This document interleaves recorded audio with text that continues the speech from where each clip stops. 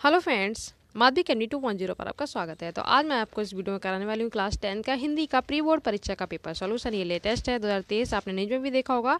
Tenth और twelfth की pre board परीक्षाएँ कल यानी 16 जनवरी से स्टार्ट है और 16 फरवरी से आपके बोर्ड एग्ज़ाम है।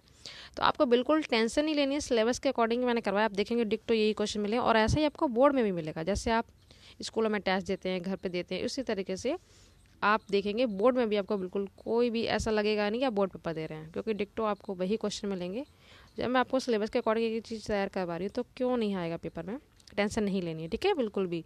अभी भी आपने बिल्कुल भी नहीं पढ़ा हिंदी तो वन मंथ मैंने जो भी करवाया वो कर लीजिए, डिक्टो वही मिलेगा। इंग्लिश के भी करवा रही हूँ साइंस के भी एसएसटी के भी आपको मिलेंगे। तो बस, करते जाइए। और अपनी परसेंट नाइन्टी प्लस लेके आइए ठीक है? तो हिंदी का प्रथम उपन्यास क्या है? परीक्षा गुरु है, लाला श्रीनिवास दास इसके रचनाकार हैं। प्रथम कहानी, प्रथम नाटक, उपन्यास, ये सब आपको याद करने हैं। मैंने चल पे अपलोड कर रखे हैं। फिर से आपका रिवाइज करवा दूँगी, फिर से। गोदान प्रेमचंद का गबन और गोदान उपन्यास, ठीक है? ठूटा आम किसकी रचना भगवत उपाध्याय की है। आपको जीवन परिचय तीन कर लेने हैं।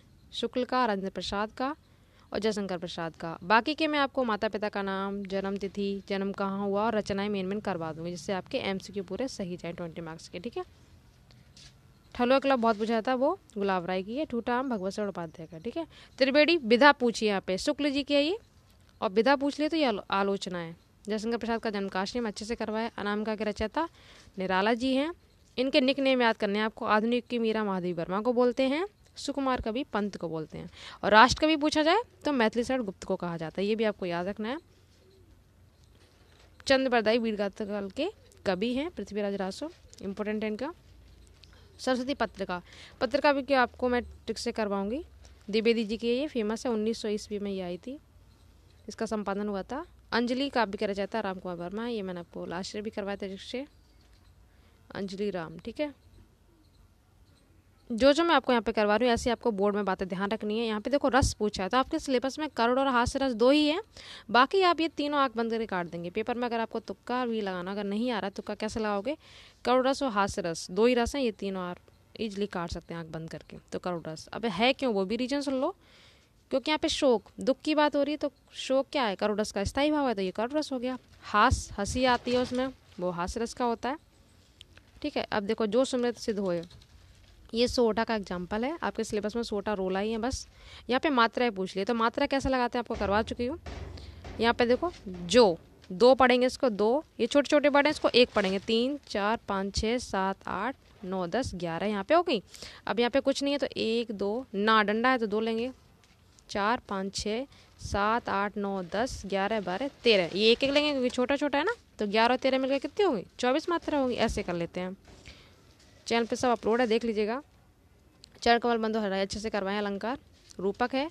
सासी से बड़ा आता है, वो उपमा होता है। जनु मनु मानो आता है। जनु मनु मानो ये बड़ा है तो उत्प्रेक्षा होता है। सिलेबस सिलेबस आपके सिलेबस में नहीं है, केवल यही तीनों है।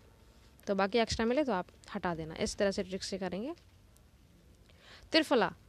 तिर मतलब तीन। तीन फला मतलब फल तो तीन फलों का समूह। नाम आए तो दिगु होता है द्वंद्व में ये वाला चिन्ह आता है, जैसे माता पिता तो माता और पिता, वो द्वंद्व होता है। समूह वाला है तो दिगु होता है। रात का तत्सम रात्रि होगा, बच्चे निशा कर देंगे, निशा नहीं करेंगे। ये पर्यायवाची, आपको ध्यान से पेपर में देखना क्या पूछ रहा है, पर्यायवाची के तत्सम है। ट्रिक से करवाया मैंने पर्यायवाची बादल। जिसमें दा आ जाए, वो बादल के होते हैं। इसमें धा आ जाए, वो समुद्र के होते हैं। जिसमें जा आ जाए, वो कमल के होते हैं। तीनों में जा आ रहा तो ये कमल के आराम से आप हटा दो, दा बारिद ऐसे करेंगे। संधि आपके सिलेबस में यड़ है, केवल यड़। बाकी सब आँख बंद करके कर देंगे। ट्रिक भी बता रही हूँ, क्यों है, वो भी आपको बता रही हूँ। तो आई होप आपको चीज़ें क्लियर हो रही हूँ जिसमें या और बा मिले, वो यड़ संधि होती है। तो बा आ गया तो इस तरह से यड़ हो गई। इत्य प्लस अत्र मिलके इत्यत्र बनेंगे। बिल्कुल टेंशन नहीं लेनी है आप। सत्तर आउट ऑफ़ सत्तर लेके आएँगे हिंदी में। जिन बच्चों की फाइन फाइनल कंडीशन अच्छी नहीं होती, कुछ प्राइवेट जॉब करते हैं जो बच्चे नहीं पढ़ पाते तो उनको भी टेंशन लेनी है।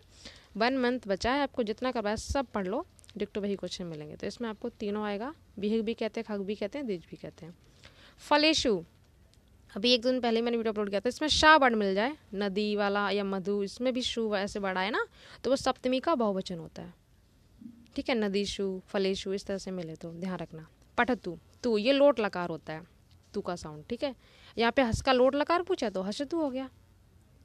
ये भी टिक से करवा दूँगी। एक व्याख्या आपको मिलेगी चॉइस में आपको दो आती हैं, एक करनी है।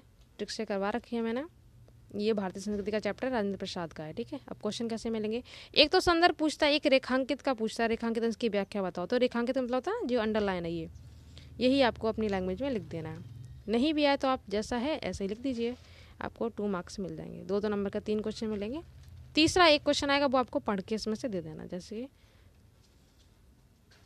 दे संदर्भ कैसे लिखोगे? प्रस्तुत गद्यांश, हमारी पाठ्य पुस्तक गद्य तो गद्य खंड के भारतीय संस्कृति नामक पाठ से लिया गया इसके लेखक कौन है? राजेंद्र प्रसाद है।